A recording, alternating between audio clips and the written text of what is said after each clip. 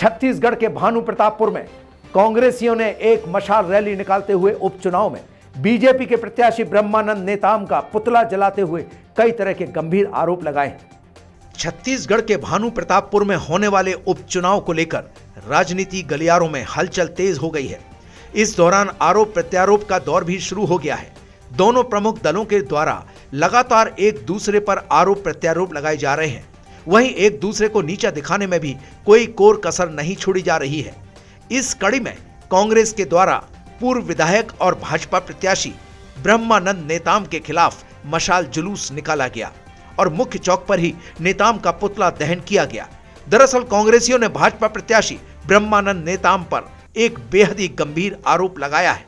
कांग्रेसियों ने कहा कि भाजपा प्रत्याशी ब्रह्मानंद नेताम ने झारखंड की एक नाबालिग को रायपुर में लाकर उससे अनैतिक काम करवाया है।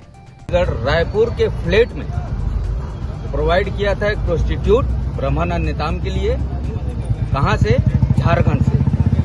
झारखंड की जो लड़की थी, जो पंद्रह साल की जो नाबालिग, उसके डायरी में बकायदा दसवां नंबर में इनका नाम था। और इनका कांटेक्ट नंबर था और पूरी पूरी पता थी उसके अनुसार वो जमशेदपुर झारखंड में ये एफआईआर की है और घटना जो है जैसे ये बोलते हैं कि मैं जमशेदपुर झारखंड कभी नहीं गया था। तो ठीक बोल रहे होंगे लेकिन ये घटना वहाँ का नहीं है। ये वैश्यावृत्ति में ढकेलने वाला जो मामला था ये रायपुर के फ्लैट का है। इस चीज़ को कई लोग समझ नहीं पा रहे हैं। ये लोग बस जम, जमशेदपुर झारखंड में लटके हुए हैं। लेकिन आप लोगों को क्लियर कर देता हूँ ये मामला छत्तीसगढ़ का है रायपुर का है और एक फ्लैट का है।